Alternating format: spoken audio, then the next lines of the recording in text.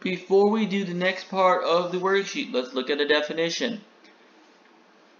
For integers a and b, a is congruent to b modulo m, written as a congruent b mod m, if and only if a minus b is a multiple of m, where m is a positive integer greater than 1. All we're saying is a is congruent to b mod m if and only if m divides the difference a minus b. That's all we're saying. So a is congruent to b mod m if and only if m, which is a positive integer, can divide the difference a minus b. So let's now do our worksheet. For part D, we want to give the least possible non-negative solution for each of the following. Non-negative means it has to be positive or it could be zero. Zero is also a non-negative solution. Question 1, we want to find 258 is congruent to what mod 8? Now I'm going to use the definition. I am looking for a number that when I subtract it from 258, that difference is going to be divisible by 8. So 8 divides 258 minus something. So let's guess some numbers what this can be. Does 8 divide 258 minus 0? We can check with the calculator. It does not divide into 258. Does 8 divide into 258 minus 1? Again, we can check this does not work. Does 8 divide into 258 minus 2? 258 minus 2 is 256. 256 is divisible by 8. This is in fact true. So now this 2 is going to be our solution we can say that 258 is congruent to 2 mod 8.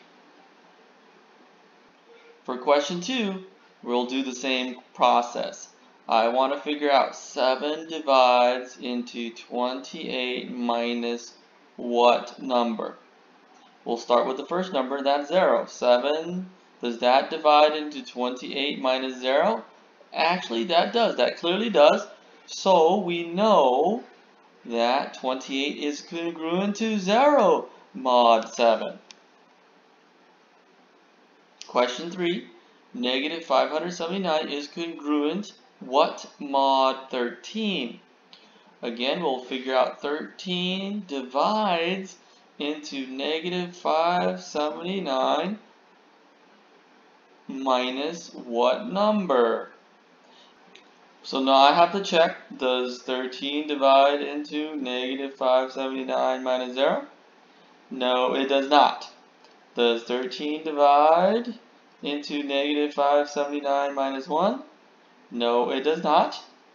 Does 13 divide into negative 579 minus 2? No, it does not. You don't have to show all of this work. You just have to check on your calculator to see if when we subtract a number from negative 579, is that divisible by 13? And I know that this one doesn't work, and we'll keep going until it does. Does 13 divide into negative 579 minus 4? Nope, it doesn't. We'll have to keep going. Does negative does 13 divide into negative 579 minus 5? Nope, it does not. Does 13 divide into negative 579 minus 6? And yes, it does. It finally does. So we know negative 579 is congruent to 6 mod 13. For question 4, again, we'll use the same process.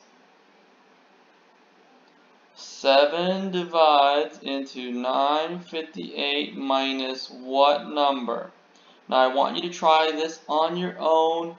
do the list, the 7 divide into 958 minus 0. And keep going until you find the answer. So pause the video, find the number, and we'll check our work together.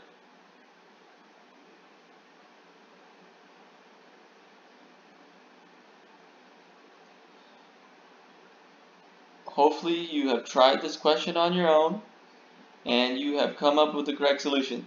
7 divides into 958 minus 6. So that means 958 is congruent to 6 mod 7. Question 5, we'll do the same process. Does 6 divide into 738 minus something? And we'll do the list again. Does 6 divide into 738 minus 0? Yes, it does. We can check with the calculator. So 738 is congruent. 0 mod 6.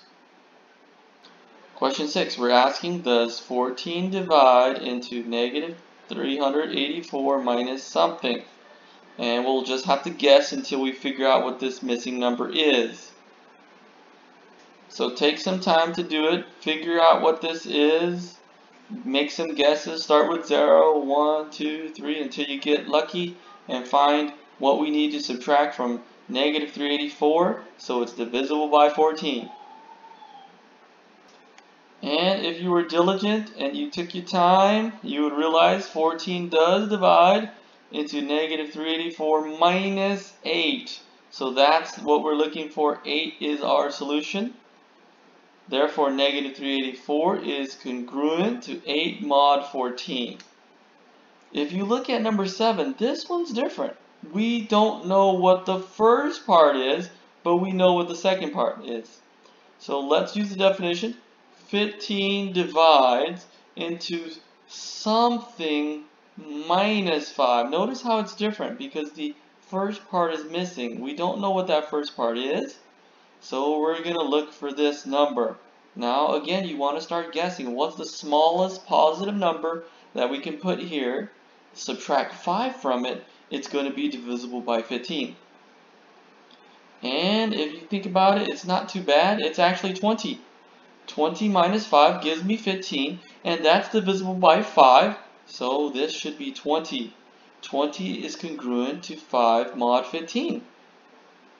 For question 8, I want to know 4 divides into 5 to the 4th minus what? Well, we could always use a calculator. What's 5 to the 4th? 5 to the 4th is 625, and then we'll have to make a guess for that missing number. 625 minus what gives us a number that's divisible by 4?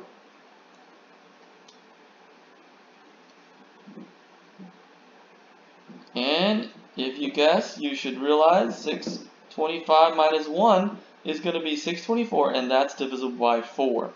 So 5 to the 4th is congruent to 1 mod 4.